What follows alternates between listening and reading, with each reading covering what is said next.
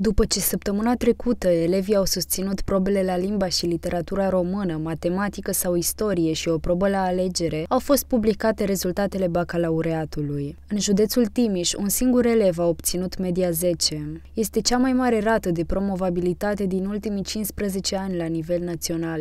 Un elev de la Colegiul Național Constantin Diaconovici Loga a obținut nota 10 pentru fiecare disciplină în parte. La nivel de țară, 39 de elevi au obținut media finală 10. Elevii nemulțumiți de note pot depune contestațiile în aceeași zi, în intervalul orar 12-18, inclusiv prin mijloace electronice.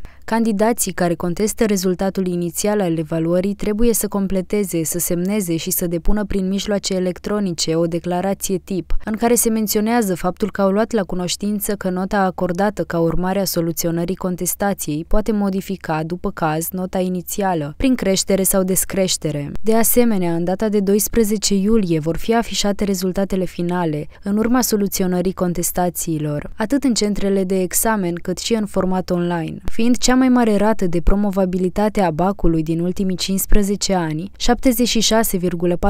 76,4% dintre candidați au promovat. Este o creștere cu 3,6% față de prima sesiune a anului trecut. Totodată, rata de promovabilitate din județul Timiș este de 72,47%.